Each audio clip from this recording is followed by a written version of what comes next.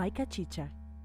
Si hay alguien aquí que democratizó el tema del el empleo y de, por ejemplo, que valoró la preparación académica, fue el PLD, fue Leonel Fernández y Danilo Medina. En algunos ¿Qué yo quiero? Bueno, en, bueno, mira, por ejemplo, aquí todo el mundo sabe lo que ocurría con Balaguer.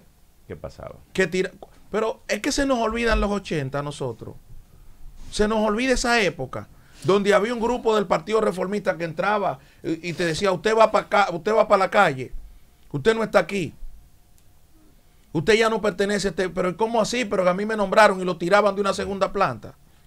Entonces, todo eso cambió. Ahora, ¿qué yo quiero que cambie para mejor?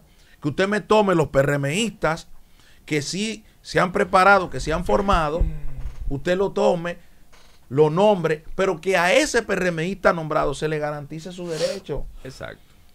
Que si, se, ah, que, si se, se, incluyó en la ley de carrera administrativa y si ella le cobija, bueno, está bien. Pero usted no puede coger ahora a un médico, a un bioanalista que duró 7, 8 años y pedirle una carta de un partido para nombrarlo. No, eso no. Es una locura. Eso es improcedente. Es una locura. Es una locura porque esa persona no se preparó de que fue un partido político. Esa persona se preparó para trabajarle al país. Para salvar vidas. Para salvar vidas. Un médico. Di que mira, para yo nombrarte aquí, para yo nombrarte aquí, una carta de un partido. Ojo. Estamos hablando de empleos. Pero, acuérdate de la mafia que había en salud pública con los nombramientos. Claro. Había una, una estructura mafiosa desde la pasada administración y que se mantuvo en esta. Mira, y, que, y que votaron a la persona, pero hay que ver si que se, ayer hablaba, se limpió todo Ayer hablaba con un amigo y de forma jocosa él me decía, Manuel, oye lo que él me decía. El problema de la administración es que no encontramos dónde poner a los PRMistas. ¿Cómo va Oye esto, Elvi. Digo, ¿y por qué? Dice, bueno, porque la mayoría de esa gente tú no encuentras tú le pides eh, al mediodía mm. qué quieren de comida y esa gente no conoce de comida. no Oye, ¿hasta qué punto? ¿Hasta qué nivel?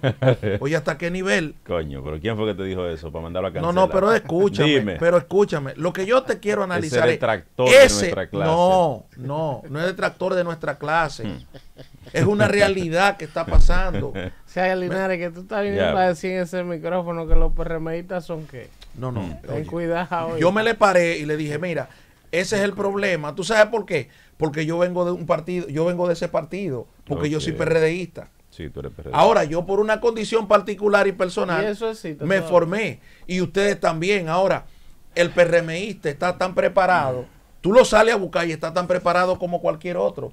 Ahora, ¿qué es lo que se está vendiendo fuera? De que no hay capacidad. Sí. una burla. No, no, fuera no, profesor, espérese hay dos o tres gente que tiene cierto nivel, sí. pero que está en la nube. Exacto. Ahora, hay camiones de pelafutanes, eh, profesor. Hay furgones de, de, anódino que hay ahí. ¿Tú entiendes? Entonces, en eso, Entonces, ¿qué pasa? ¿Cómo que señor? ¿Y no es verdad? Pero, pero. ¿Y no es verdad, profesor? ¿Eh? mira, aquí nadie está detractando a nadie. Aquí estamos hablando de una realidad de un Hay un grupo de gente, de jóvenes que se prepararon. Se están en la nube, eso sí en, en, YouTube, en qué sé yo qué, en Instagram, que se creen la película. yo creo que para los Lo otro es fulgones y fulgones de pelafutana. Para los niveles de exclusión que sufrió la, para los niveles de exclusión que sufrió la clase PRMista en este país durante 16 años de manera consecutiva. Muy preparados están. Tu mañana. Chicha.